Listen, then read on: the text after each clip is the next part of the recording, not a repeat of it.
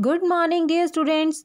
Today we will learn how to make 3D shapes from 2D shapes. So let's start. Dear students, do you know about these shapes? Yes, these are square, rectangle and triangle. These shapes have only two dimensions. So these are 2D shapes. Dear students, you all know what is this?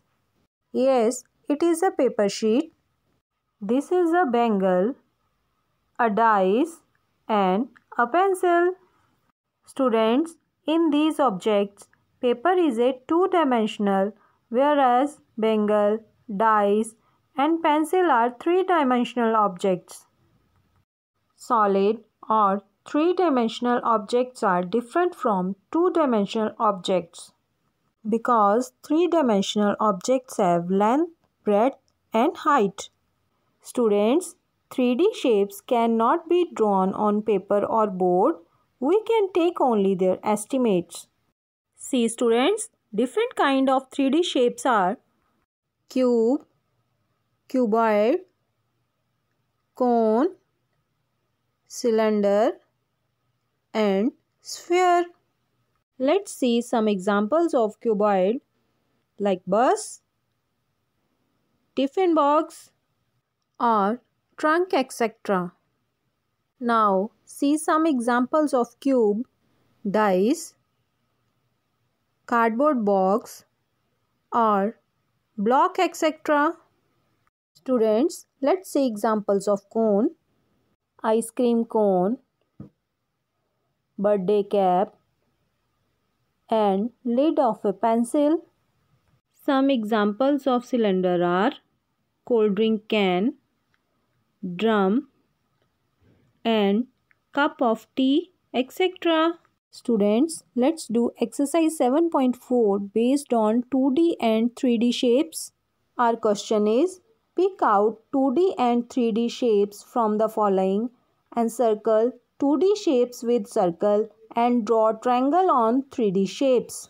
Students, firstly we have triangle. Triangle has two dimension length and breadth so it is a 2D shape. Students, see this object carefully. It is a box. It has three dimensions, length, breadth and height. So, it is a 3D shape. Similarly, we will find 2D and 3D shapes from the rest of the objects. See here, triangle and square are 2D shapes, but box, cylinder and football are 3D shapes. Students, just like this, you will draw triangle or circle on all the given objects. Students, let's learn how we can make 3D shapes from 2D shapes. Students, take any empty box which is available in your home. Students, it is a 3D object. Let's open this box. Students, we will see a net. Students, we can make 3D shapes from nets of 2D shapes. Students, for this, firstly we will take a piece of paper. Now, we will draw lines on the paper and make squares. We will draw net on the paper like this. With the help of scissor, we will cut this net. After cutting, our net will look like this. Now we will fold paper from the drawn lines and see which shape is this. After joining, we have this type of shape which has same length, breadth and height. It is a square. Now students, we will draw one more net and see which type of shape we get from this net. Students, Firstly, we will cut our net. After cutting, net will look like this. Now, we will fold the paper. Students, after joining, we have which type of shape? This shape also has three dimensions, length, breadth and height. But its length is longer than its breadth and its height. This is a cuboid. Students, now draw one more net like this and see which type of shape we get from this net.